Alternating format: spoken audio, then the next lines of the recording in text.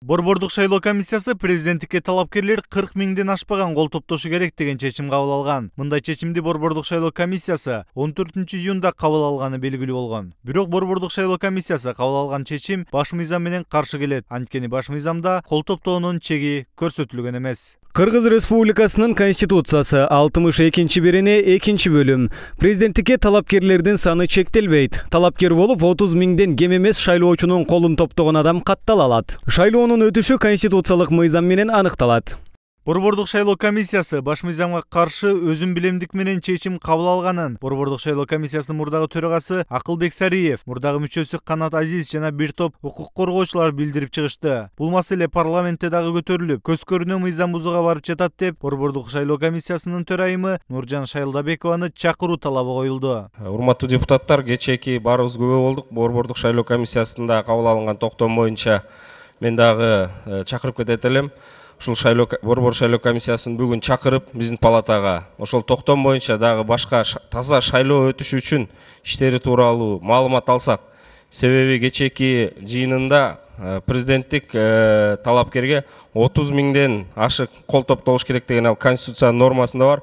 Бирок борбордук шайлоо комиссиясы өзүнүн токтому менен кырк миңден ашпасын деп дагы башка чектөөлөр киргизип атат. Бул конституцияда да жок. Ошол үчүн бүгүн чакырып маалыматын уксак кечөөнү шайлоо борбордук шайлоо комиссиясынын отурумунда конституциянын одоно бузулган токтом кабыл алынды алдыда келаткан мына бакирдин байкебиз айткандай сооронбек өчү айткандай адилеттүү ак шайлоо өткізгенге бөгөт кое турган нормалар кабылдана баштады ошон үчүн ошолдун алдын ала ала тургандай болуп бүгүн биз угуп аларды маселесин талкуулап өз убагында чече тургандай болуп кылчу нуржан шайылдабекова маалымат жыйын уюштурарын билдирип жогорку кеңешке барган эмес. Мындан улам депутат жээнчороев бшк жогорку кеңеш тарабынан дайындалган орган экенин билдирип керек болсо төрайымын кошуп баардык мүчөлөрдү кызматтан алууну сунуштады. Нуржан шайылдабекова болсо депутаттарды басым көрсөтпөөгө чакырды. Талап кылышты. Ушундай бир конституцияга мыйзамдарга каршы болгон токтомдорду чечимдерди бшк кабыл алып атат деп талап кылышты ушу парламентке чакырып угалы деп. Ошо эскертип кетет элем. Шайлоо кампаниясы башталды. Биз алар атаган чечимдерди талкуулап атабыз деп. Ал конституциялык органды бир четинен жогорку кеңеш дайындайт шайлайт дайындайт. Эгерде жогорку кеңешти сыйлабаса эгерде жогорку кеңешке келип маалымат бербейм десе анда төрайымын баш кылып туруп четтетүү боюнча маселени коюшубуз керек. Борбордук шайлоо комиссиясынын төрайымы нуржан шайылдабекова кол топтоого кырк миң деп чек коюу баардык талапкерлерге бирдей шарт түзүп берүү үчүн жасалганын бирок акыркы чечим кабыл алынбагандыктан кырк миңдик чекти алып салуу мүмкүн экендигин билдиришти. Но как я сказала мы вчера не пришли к единому мнению договорились что э, сегодня выработаем с учетом замечаний проект положения. Еще раз согласуем с каждым членом ЦИК и в случае наличия принципиальных противоречий вернемся к рассмотрению этого вопроса.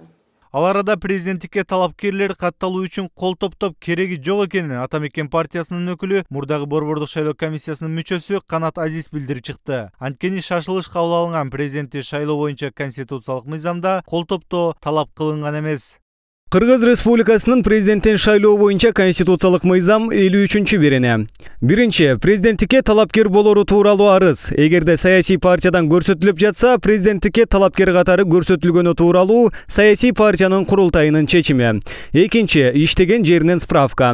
Үчүнчү паспортунун көчүрмөсү төртүнчү өмүр баяны. Бешинчи бир миллион сом күрөө төлөгөнү тууралуу справка. Алтынчы мамлекеттик тил боюнча экзамен тапшырганы тууралуу сертификат.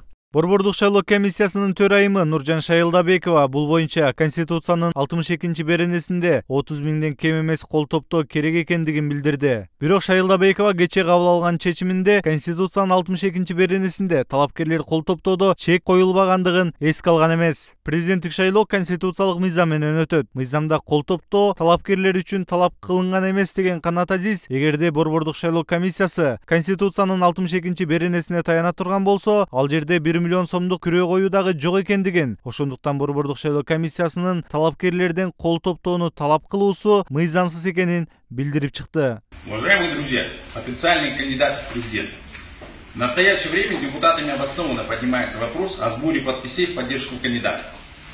Буквально два часа тому назад я заявил о том, что сдавать в перечень сбор подписей для регистрации кандидатов не нужно, поскольку конституционный закон этого не требует.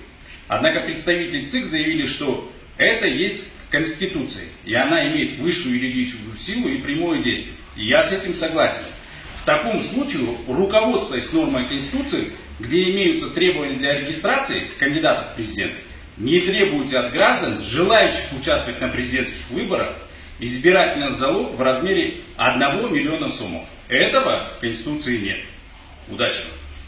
Нуржан шайылдабекова президент чакырып шайлоону он тогузунчу ноябрда өткөрөбүз деп жатканда дагы он тогузунчу ноябрда шайлоо өткөрүү болбостугун айткан эмес ата мекен фракциясы бул мыйзам бузуу экендигин билдирип шайлоо он бешинчи октябрга жылды. Эми дагы ата мекен партиясынын өкүлү канат азиз конституциялык мыйзамдагы ала жерлерди көзгө сая көрсөтүп борбордук шайлоо комиссиясы менен президенттик шайлоо боюнча конституциялык мыйзам жазган депутаттарды жана ал мыйзамды текшербей туруп кол койгон президентти бурчка такады. Марат төлөмүш улуталан жапаров сентябрь.